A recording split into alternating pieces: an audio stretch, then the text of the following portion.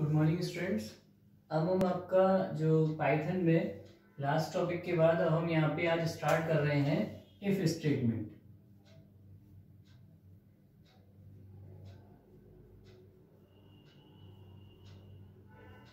If statement में हम क्या कराएँगे कि इसमें हमने आपको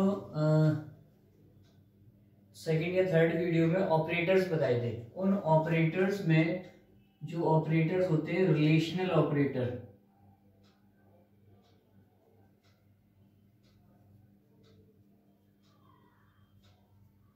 और एक होते हैं आपके लॉजिकल ऑपरेटर तो रिलेशनल ऑपरेटर जो थे, वो कौन कौन से थे? एक तो greater than equals to less than equals to greater than equals to less than equals to और फिर equals to double equals to ठीक है? और नॉट इक्वल्स टू ये सारे रिलेशनल ऑपरेटर में आएँगे या फिर आप सिंगल में भी यूज़ कर सकते हैं रिलेशनल ऑपरेटर को, ठीक है? तो ये रिलेशनल ऑपरेटर रहते हैं और रिलेशनल ऑपरेटर के अलावा आपके जो दूसरे ऑपरेटर होते हैं, वो होते हैं लॉजिकल ऑपरेटर जो मैंने आपको बताए थे लॉजिकल ऑपरेटर्स में कौन कौन से होते हैं आपके? एंड और एंड लगा लीजिए या और लगा लीजिए या फिर आप दोनों लगाना चाहें या फिर नॉट लगाना चाहें, ठीक है? तो यहाँ पे दोनों के लिए या फिर एक के लिए या फिर नॉट कोई नहीं के लिए। ठीक है? तो ये हम ऑपरेटर्स आज इसमें देखेंगे कि किस तरह से ऑपरेटर्स का यूज़ हो रहा है। रिलेशनल ऑपरेटर ये सारे ऑपरेटर अब इसमें यूज़ करके देखेंगे। ठीक? तो अब इसमें हम आपका एक प्रोग्राम बनाते हैं। Check the result of the student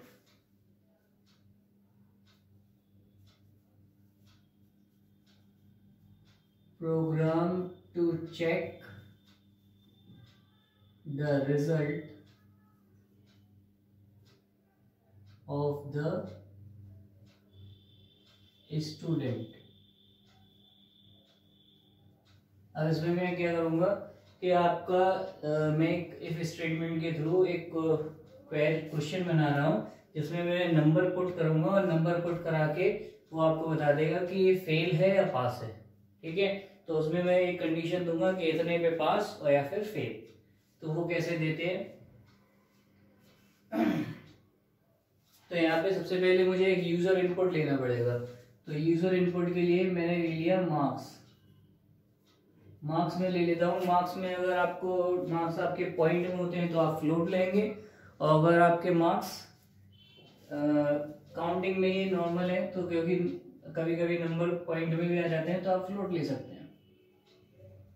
float और फिर आपका इनपुट और इनपुट के बाद आपका enter the marks marks enter कराइए ठीक है? अब मार्क्स एंटर कर दिए। उसके बाद फिर मुझे क्या करना है? कंडीशन देनी है कि आप कितने मार्क्स में काउंटिंग कर रहे हैं। मान लीजिए सौ नंबर का कोई पेपर होता है तो सौ में से कितने पे आप पास रखेंगे, कितने फेल रखेंगे? तो भाई चालीस से ज़्यादा वाले पास और चालीस से कम वाले फेल ठीक है? तो फिर यहाँ पे मैं इफ़ स्टेटमेंट से स्टार्ट करूँगा इसको। तो यहाँ लिखूँगा if marks is greater than और इक्वल्स टू या तो चालीस से ज़्यादा हो या चालीस के बराबर हो। ये, और यहाँ रेशियो का साइन लगता है। ठीक है? तो तो आप अगर 40 से ज़्यादा या 40 के बराबर हो तो आपको क्या प्रिंट करना है? प्रिंट करना है पास्ड ये प्रिंट करना है। ठीक है? या फिर आपका इफ़ में मैंने लगा दिया इफ़ मार्क्स ठीक है? अब मार्क्स क्या है? 40 से कम होने चाहिए। तो 40 से कम होने की कंडीशन में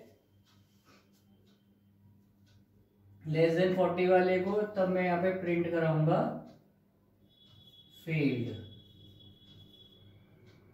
ठीक है? ये एक नॉर्मली है कि अगर आप इफ़ स्टेटमेंट के थ्रू एक को, कोई कोडिंग बना रहे हैं तो किस तरह से आप यहाँ पे यूज़ करके बनाएँगे? तो ये आपका है। नेक्स्ट आगे देखते हैं इसके बाद कि अगर मैं यहाँ चाहता कि ये इफ़ स्टेटमेंट ना लगा के इसकी जगह में क्या यूज़ कर सकता था? इसकी जगह में यूज़ कर सकता था एल्स एल्स भी यूज़ कर सकता था। लेकिन एल्स में यहाँ पे फिर मैं कंडीशन नहीं लगा सकता था। एल्स में ये लेस देन और ग्रेटर देन कुछ नहीं मिलेगा सिर्फ़ एल्स यानी कि या तो चालीस से बड़े वाले चालीस के बराबर पास बाकी फेल तो एल्स में अगर यहाँ पे इफ़ कंडीशन इक्वल लगा दी, उसके बाद एल्स लगाना है तो ऐसा भी कर सकता था। तीन कंडीशन भी दे सकता था।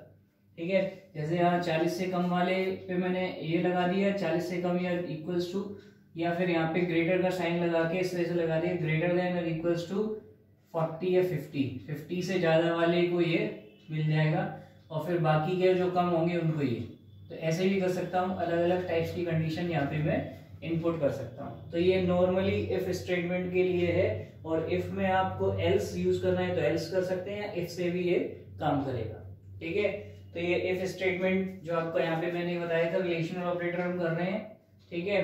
अब रिलेशनल ऑपरेटर में अगर मुझे एक पता करना है कि भाई एक इवन नंबर का बनाना है, कि मुझे बनाना है एक फॉर्मूला जिससे मुझे पता चल जाए कि ये नंबर इवन है या नहीं। मतलब यूज़र जैसे ही नंबर डालेगा कोई भी तो नंबर डालते ही वो आपको प्रिंट दे देगा, या तो इवन या ऑड ठीक है? लेकिन जब आप इवन या ऑड निकालते हैं तो मेनली क्या तरीका होता है इसके लिए? तो इवन में क्या होता है, जिस नंबर में टू से डिवाइड चला जाएगा, वो इवन और जिसमें टू से डिवाइड नहीं चला जाएगा, वो आपका ऑड तो यहाँ पे मैं उस प्रोग्राम को यहाँ पे ऐड कर रहा हूँ। ठीक है, किस तरह से करेंगे इवन और ऑड वाला? तो सबसे पहले तो मैं उसको कोटेशन से स्टार्ट कर रहा हूँ।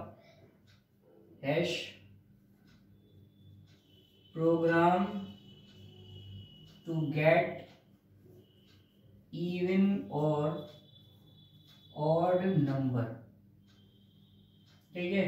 तो सबसे पहले मैं नम के नाम से या नंबर के नाम से मैंने एक नाम बना लिया और इसमें मैंने क्या किया कि इंट ले लिया। इंट से इनपुट करा लिया और इनपुट में कहा, भाई एंटर द नंबर नंबर को आप एंटर करा दीजिए, एक और ब्रैकेट बंद कर नंबर एंटर करा दिया। अब उसके बाद फिर मुझे इफ़ स्टेटमेंट लगानी पड़ेगी कि इफ़ स्टेटमेंट में कैसे लगाऊँगा? कि यहाँ पे मैंने आपको लास्ट टाइम बताया था वीडियो में, एक परसेंटेज का साइन बताया था। ये आपका किस लिए होता है? ये होता है रिमाइंडर के लिए। तो मैंने यहाँ पे दिया इफ़ नम डिवाइडेड बाई ये सॉरी परसेंटेज परसेंटेज का साइन लगाया। यानी कि ये आपकी परसेंटेज डिवाइड करनी मुझे दूसरे के रिमाइंडर निकालने के लिए होता है। और ये डबल इक्वल्स टू लगा दिया। और ये इसका जो रिमाइंडर है, वो ज़ीरो के बराबर आता है। रेशियो का साइन भी ठीक है? अगर नम में, यानी जो आप यूज़र इनपुट करेगा, उसमें अगर मैं टू से डिवाइड करूँगा और जो ये इससे डिवाइड होता है और डिवाइड के बाद रिमाइंडर देता है कि भाई इससे डिवाइड होने के बाद जो रिमाइंडर बचेगा, वो बचेगा या नहीं? अगर नहीं बचता है यहाँ मैंने लिखा है, अगर ज़ीरो के बराबर होता है इसका यानी कुछ नहीं बचता, पूरा कंप्लीट डिवाइड हो रहा है। तो आपको प्रिंट करना है। द नंबर इज़ इवन तो आपको प्रिंट करना है द नंबर इज़ इवन और अगर आपका एल्स वाली कंडीशन है तो एल्स वाली कंडीशन में आप क्या लिखेंगे? Print the number is odd ऐसे, ठीक है? तो इवन और ऑड के लिए आप इस तरह से यूज़ कर सकते हैं। तो यहाँ से आपका ये क्लियर हो जाएगा कि इवन है या ऑड नंबर है। ठीक है? तो इवन और ऑड अगर आपको पता करना है तो आप ऐसे प्रोग्राम बनाएँगे जिससे अगर मुझे ऐसा पता करना है कि भाई इवन या ऑड के लिए नहीं अगर मुझे वो पता करना है कि यहाँ पे इवन और ऑड के लिए और मुझे वो बताना है कि नॉट इक्वल्स टू इसका उल्टा करना है। तो नॉट इक्वल्स टू के लिए मैं यहाँ पे क्या करूँगा? एक्सक्लेमेटरी साइन और डबल सिंगल इक्वल ठीक है? इसको भी मैं आपको करके बताऊँगा कि इस वजह से ये करना है। तो ये आपको करने के लिए दे रहा हूँ कि आपको नॉट इक्वल्स वाले निकाल के बताइए कि जो ज़ीरो के इक्वल नहीं है, यानी केवल ऑड ही ऑड मुझे पता करने ठीक है? केवल ऑड इवन नहीं निकालने। उस कंडीशन में मैं क्या करूँगा? तो वो कैसे निकालेंगे? अब इसके बाद नेक्स्ट देखते हैं आगे। आपका जो इवन और ऑड हो गया, आपका ये नंबर हो गया। अब नेक्स्ट वीडियो में हम इसके आगे देखेंगे इवन इफ़ और स्टेटमेंट में। इसमें इफ़ स्टेटमेंट एक और एग्जांपल करेंगे, ठीक है? तो नेक्स्ट वीडियो में देखते हैं। उसमें अब आपके रिलेशनल ऑपरेटर और लॉजिकल ऑपरेटर थैंक यू